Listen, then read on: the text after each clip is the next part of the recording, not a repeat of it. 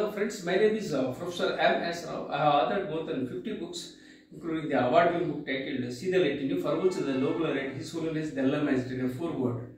Uh, in this video, I will talk about uh, uh, Alan Mulally and uh, the lessons you can learn from Alan Mulally. Uh, uh, there are certain uh, aspects of one of Alan uh, emphasize uh, about uh, strategy, leadership, decision making, emotional resi- resilience, purpose, uh, uh, and uh, uh, passion, uh, vision.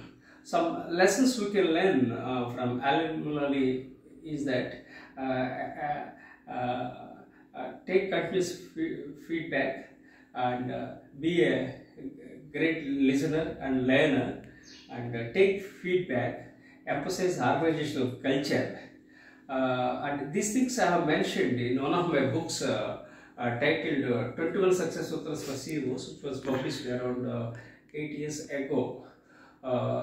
And there are so many things uh, you can learn from Alan Mulally, and uh, I have mentioned about Alan Mulally in some of my books because I, I, I admire his uh, leadership style, and uh, he is uh, very close to Marshall Goldsmith, and uh, Marshall Goldsmith is a very good friend of mine. So, uh, uh, uh, so I invested my time uh, by reading various uh, articles about Alan Mulally, uh, and uh, I read uh, articles and uh, interviews leader to leader. I have seen a couple of uh, uh, videos on Alan Mulally. So there are so many things you can learn from him. Uh, so let me share with my challenge. I was blessed to be alive of the brain stroke in the year uh, 2021. I survived because of my positive psychology and because of the power of subconscious mind. I am a late bloomer. I am dyslexic. Uh, uh, with AD, add to that the brain stroke has further ruined my health. Uh, despite all the challenges, I rose like a phoenix. I have mental challenges, physical challenges, and financial challenges. Uh, I don't have two wheeler, I don't have four wheeler. Uh, I have lots of challenges, but uh, despite all the challenges, uh, I bounced back.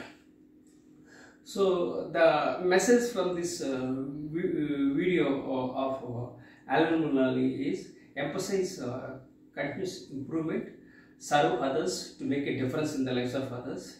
Uh, it's more important to be nice and uh, uh, uh, and emphasize the philosophy of employees first, customers second, and shareholders. Uh, thank you for watching this video. Thank you for empathizing with me because my right hand was paralyzed and now there is no sense to my right hand. But still, I am trying to my I am trying to give my best shot with gratitude.